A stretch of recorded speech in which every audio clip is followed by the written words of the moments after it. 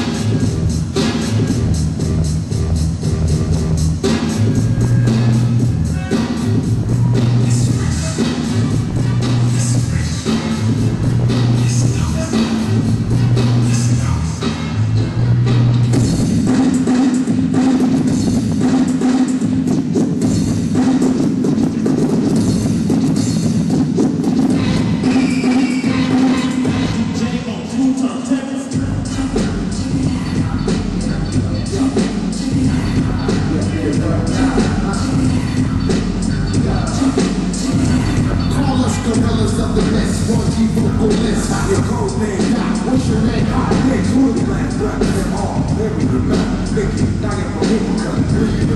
Down these streets, got the next man.